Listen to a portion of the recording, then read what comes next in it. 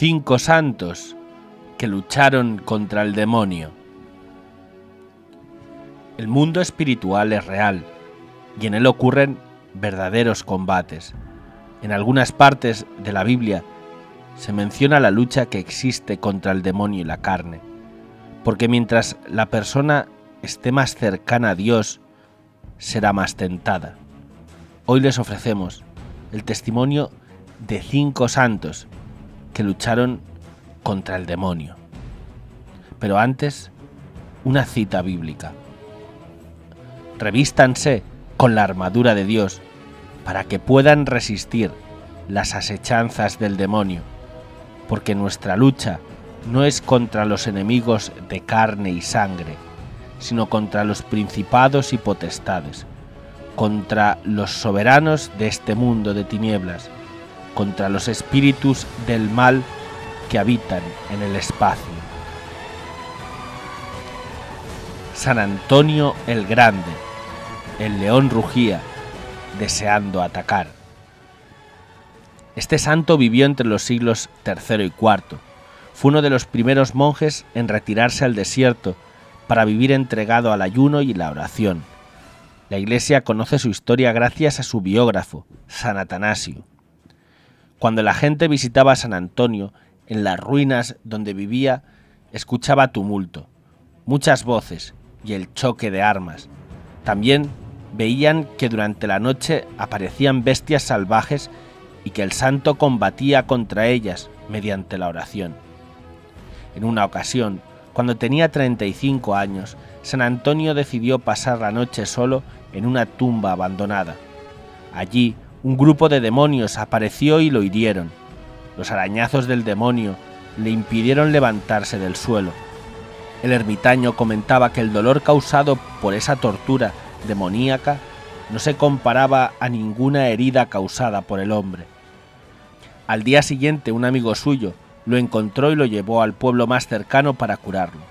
Sin embargo, cuando el santo recuperó el sentido, le pidió a su amigo que lo llevara de vuelta a la tumba.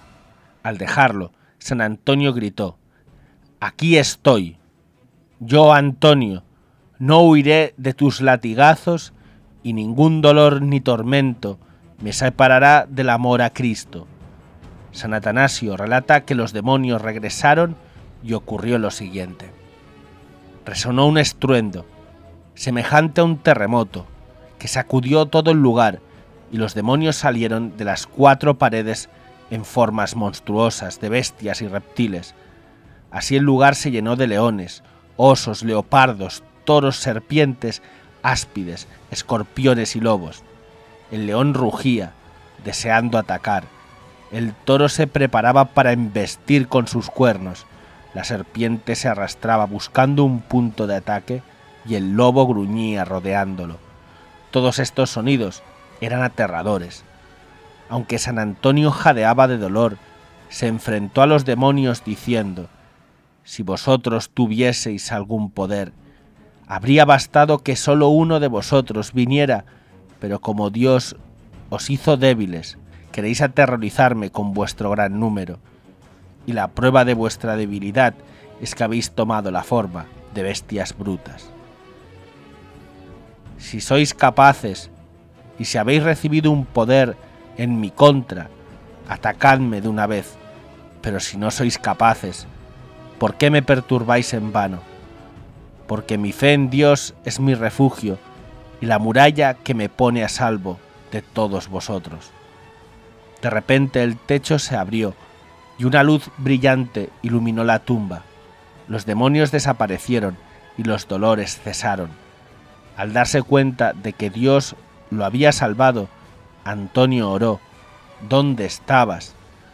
¿Por qué no te apareciste desde el principio y me libraste de los dolores? A estas preguntas Dios respondió, Antonio, yo estaba allí, pero esperé para verte pelear. Como has perseverado en la lucha y no has caído, siempre estaré dispuesto a socorrerte y haré famoso tu nombre en todas partes. Luego de escuchar las palabras de su señor, el monje se levantó y oró. Entonces recibió tanta fuerza que sintió que tenía más poder en su cuerpo que antes. Santo Padre Pío, estos demonios nunca dejan de golpearme. Fue un sacerdote italiano que nació a finales del siglo XIX y murió en 1968. Aunque realizó muchos milagros y recibió los estigmas, el padre Pío también sufrió ataques frecuentes del demonio. Según el padre Gabriel Amorz, famoso exorcista de la diócesis de Roma, la gran y constante lucha en la vida del santo fue contra los enemigos de Dios y las almas, quienes trataron de capturar su alma. Desde su juventud el Padre Pío tuvo visiones celestiales, pero también sufrió ataques infernales. El Padre Amorth explica, el diablo se le aparecía en la forma de un gato negro, o como algún otro animal repugnante. Con estas apariencias intentaba llenarlo de terror. En otras ocasiones, el demonio tomaba la forma de chicas jóvenes, desnudas y provocativas, que realizaban danzas obscenas para atentar contra su castidad. Sin embargo, el padre Pío sintió el peligro cuando Satanás trató de engañarlo fingiendo ser su director espiritual o tomando la forma de Jesús, la Virgen o San Francisco. Esta última táctica, cuando el diablo tomaba la forma de alguien bueno y santo, fue un problema. Así fue como el Padre Pío se dio cuenta de que las visiones eran falsas. Notó cierta timidez cuando la Virgen y el Señor se le aparecieron, seguida de una sensación de paz cuando la visión terminó. Además, disfrazado de una forma sagrada, el diablo le provocó un sentimiento de alegría y atracción, pero cuando se fue le dejaba un extraño remordimiento y tristeza. Satanás también lo hería físicamente. El sacerdote describió estos dolores en una carta a un hermano, que era su confidente. Estos demonios nunca dejan de golpearme, incluso me hacen caer de la cama, incluso rasgan mis vestiduras para azotarme. Pero ya no me asustan porque Jesús me ama y Él siempre me levanta y me coloca de vuelta en mi cama. El Padre Pío es el testimonio de que si la persona está cerca de Dios, no tiene que temer los demonios. Santa Gema Galgani, sus garras brutales. Esta santa italiana fue una mística que tuvo experiencias espirituales maravillosas. En una carta dirigida a un sacerdote escribió, Durante dos días Después de recibir la Santa Comunión, Jesús me ha dicho, Hija mía, muy pronto el diablo desatará una guerra contra ti. Estas palabras resuenan en mi corazón constantemente. Ore por mí, por favor. Ella se dio cuenta de que la oración era la mejor defensa contra los ataques del demonio. En venganza, Satanás le infringía fuertes dolores de cabeza para impedir que durmiera. Sin embargo, pese a las fatigas, Gema perseveró en la oración. ¿Cuántos esfuerzos hace ese miserable para que yo no ore? Ayer trató de matarme y habría tenido éxito si Jesús no hubiese venido a salvarme. Estaba asustada y mantuve la imagen de Cristo en mi mente. Una vez, mientras la santa escribía una carta, el diablo le arrebató la pluma de las manos rasgó el papel y la tiró de la silla, agarrándola de los cabellos con la violencia de sus garras brutales. Ella describe otro ataque en uno de sus escritos.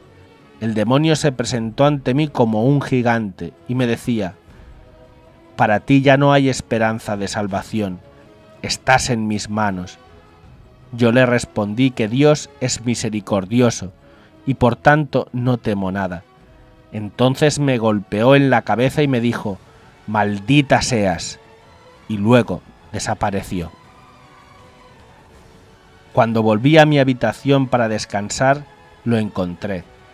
De nuevo comenzó a golpearme con una cuerda anudada y me gritaba que yo era débil. Le dije que no, y me golpeó tan fuerte que caí de cabeza al suelo. En un momento se me vino a la mente invocar a Jesús. Padre eterno, En nombre de la preciosísima sangre de Jesús, líbrame. No recuerdo bien qué pasó. La bestia me arrastró de mi cama y golpeó mi cabeza con tal fuerza que todavía me duele. Perdí el sentido y yací en el suelo hasta que desperté. Gracias a Dios. A pesar de los ataques, Santa Gema siempre tuvo fe en Jesús Incluso utilizaba el humor contra Satanás. Una vez escribió a un sacerdote, tenías que verlo. Cuando huía haciendo muecas, te habrías muerto de risa, es tan feo. Pero Jesús me dijo que no le tenga miedo. San Juan María Bautista Vianney lo hace porque yo convierto muchas almas para el buen Dios. El santo cura de Ars Nació en Francia en el año 1786. Fue un gran predicador, hacía muchas mortificaciones, fue un hombre de oración y caridad, tenía increíbles dotes para la confesión.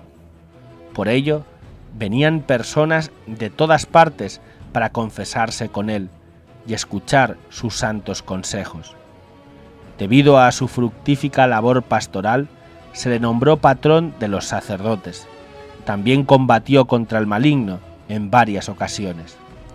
Una vez, su hermana pasó la noche en su casa, ubicada al lado de la iglesia. Durante la noche escuchó raspones en la pared. Fue a ver a Juan Vianney, que estaba confesando, y él le explicó, Hija mía, no debes temer, es el gruñón, él no puede hacerte daño. En cuanto a mí, siempre me atormenta de la manera más desquiciada posible. A veces me coge de los pies y me arrastra por el cuarto. Lo hace porque yo convierto muchas almas para el buen Dios. El demonio hacía ruidos durante horas, similares a los cristales, silbidos y relinchos. Incluso se colocaba bajo la ventana del santo y gritaba Vianney, Vianney, come papas. Su propósito era no dejar dormir al sacerdote para que se cansara y no pudiera estar horas en el confesionario, donde salvaba las almas de sus garras. En otra ocasión, mientras el cura de Ars estaba preparándose para celebrar la misa, un hombre le dijo que su dormitorio estaba en llamas. ¿Cuál fue su respuesta? El gruñón está furioso. Al no poder atrapar al pájaro, le prende fuego a la jaula. Le dio las llaves a aquellos que iban a apagar el fuego. Sabía que Satanás quería impedir la misa y no se lo permitió. Dios premió su constancia ante las pruebas con un poder extraordinario que le permitía expulsar demonios de los poseídos.